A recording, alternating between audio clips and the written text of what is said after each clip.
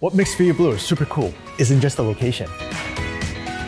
There are two floors of luxury amenities waiting for you, like this party room. And this fitness center. It's a movie theater. Whirlpools and a sauna. A kids zone. There's so much more. Come check out one of our move-in ready condos at Via Bloor.